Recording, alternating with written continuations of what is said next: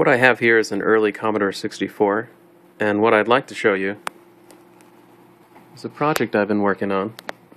This is my prototype board, which is basically a 128K cartridge. You can see right here there's a 128K EEPROM that I've loaded. It's connected to some control ICs. And these wires that you see floating off the board connect over here to a PCB, which I purchased online. And as you can see, the wires via header connect to the pins of essentially a cartridge. So what we'll do is fire up the Commodore.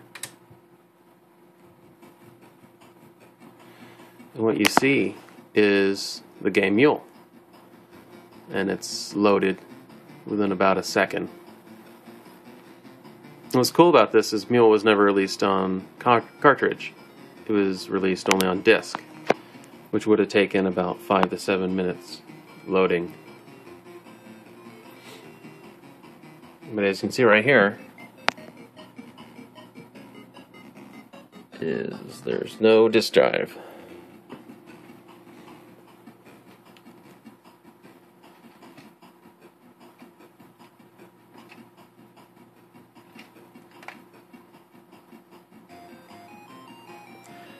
Now after you load the intro screen, which contains most of the data, it's about 32K,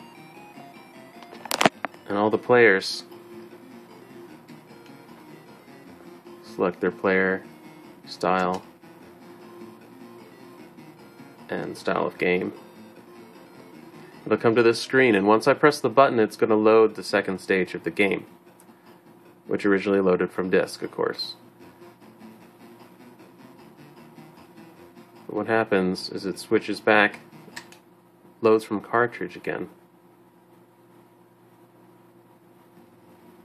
And voila.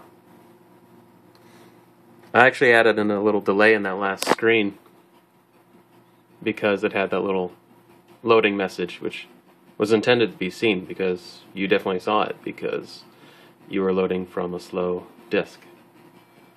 So that's pretty much it.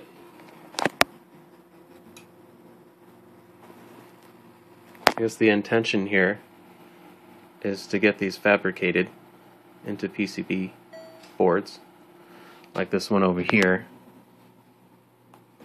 Already have some designs in the works and hopefully I'll get those made soon. So yeah, that's it.